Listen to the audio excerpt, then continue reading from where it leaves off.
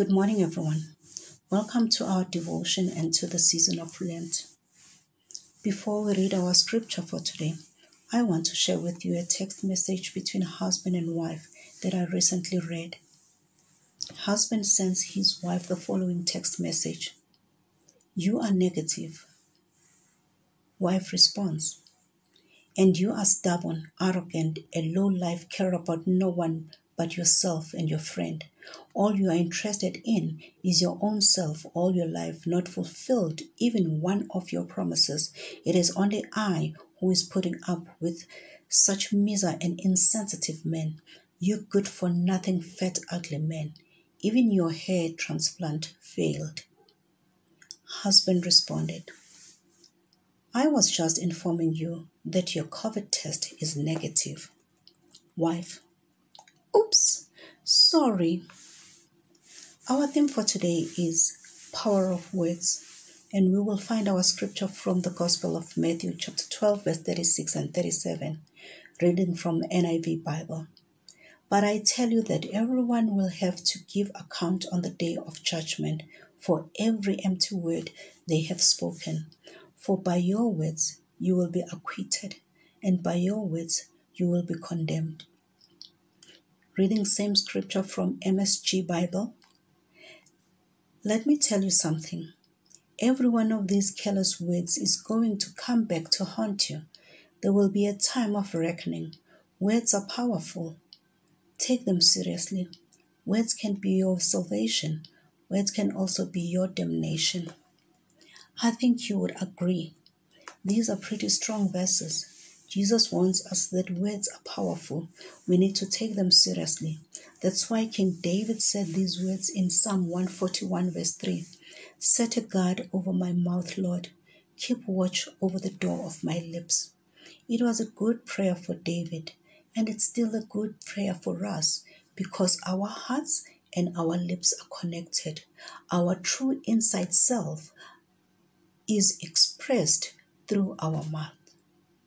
Columnist Michael Curran from New Beginning Baptist Church gave us a background for the message, saying, In order to understand Jesus' meaning when he spoke the words of our text, it is necessary to remember the context of his words.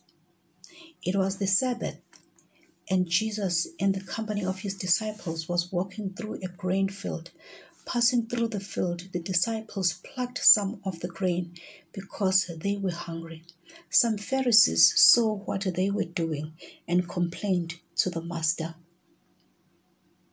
Secondly, Jesus healed a man with a withered hand in the synagogue. And what he did next was calculated to drive them mad with rage. Again, when a demon oppressed man was brought to him, he healed him in Matthew 12, verse 22. The people began to wonder aloud whether he could indeed be the promised Messiah, but the Pharisees responded by speaking ill of him. Jesus' response was to caution them against becoming so hardened in their hearts that they were eternally disqualified from the grace of God. He cautioned them against committing what we have come to identify as the unpardonable sin. Jesus continued by saying, Either make the tree good and its fruit good, or make the tree bad and its fruit bad, for the tree is known by its fruit. You brood of vipers, how can you speak good when you are evil? For out of the abundance of the heart the mouth speaks. The good person out of his good treasure brings forth good, and the evil person out of his evil treasure brings forth evil. I tell you, on the day of judgment, people will give account for every careless word they speak, for by your words you will be justified, and by your words you will be condemned. Matthew 12, verse 33 to 36. The Pharisees had ascribed the deliverance of a demon oppressed man to the power of Satan. Jesus pointed out that a rotten tree cannot produce good fruit. If they are calling the tree rotten, then they are confessing that the fruit it is, is rotten as well. Likewise, if they are saying that the fruit is good, then the tree must likewise be good. Fruits and roots are intimately interconnected. In the same way, we cannot say that one has a good message, but that he has evil motives. Either the message is good and the motive is good, or the message is bad and the motive is equally bad. It is a caution for us to avoid making thoughtless accusation against others. Either their fruit, the words of their mouth, reflects the presence of Christ, or their fruit reflects that they are consumed by evil. In verse 33 and 34, it is evident that Jesus is speaking to the Pharisees. They had accused him of being in league with Satan. Their accusation at last elicites a response. Jesus clearly addressed the religious leaders, calling them a brood of vipers. However, in verse 36 and 37, Jesus addresses all people. When Jesus wants that by our words we will either be justified or condemned. He is speaking to all of us. He formally introduces these verses with an introductory formula I tell you. This approximates the most formal introduction possible. I tell you the truth. It is a way of setting up a particular important saying. What is vital to our meditation this morning is the knowledge that what is said in is is is indicative of the state of the heart. God is holy and God is omniscient. Therefore, God knows who we are and He knows what we are. He will not excuse even the idle words that we have spoken. One great lesson we should draw from this text is that we must account for who we are. Jesus states this tr- truth by saying that we must give account for every careless word spoken.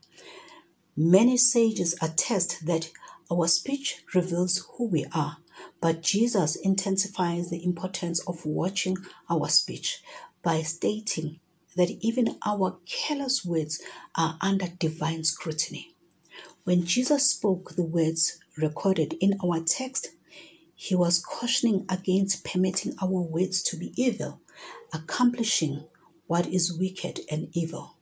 He was warning that we must accept responsibility both for what we say and for the impact of our words. Words are vital and they can be used as weapons. Trevor Hudson, in his book Pause for Lent, puts it this way Words carry much spiritual power. They wound and heal, they break down and build up, they discourage and encourage. Jesus places eternal value on them when he says, We will be judged by words we have spoken. We dare not underestimate the damage that harmful words cause. They can destroy confidence, tarnish reputations, spread rumors, split families, divide communities, and spark fights and wars. Every word we speak can be a brick to build with or a bulldozer to destroy. Words are, are seeds, they are containers for power. They carry creative or destructive power and they produce a good or bad harvest in our lives and in the lives of those we love. Jesus is reminding us that what we say reveals what is in our hearts. It's an indication of what your heart or our heart is really like. In contrast, helpful words of love and appreciation have the potential to bring blessing and life. They can make God's love real for those around us. During Lent and after, let us think careful, carefully about how we speak to others. Let us recenter our lives on what matters most the one who made us and died for us all. Let us pray. Father God, Heavenly Mighty God, loving Creator, creator of heaven and earth. This morning we give you praise, we give you honor. We say thank you, Holy Spirit, for who you are and for reminding us of the things that can bring condemnation into our lives.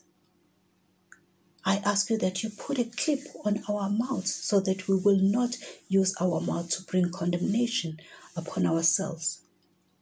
We pray that, Lord, you help us to think well before we speak at all times. In Jesus' name we pray. Amen.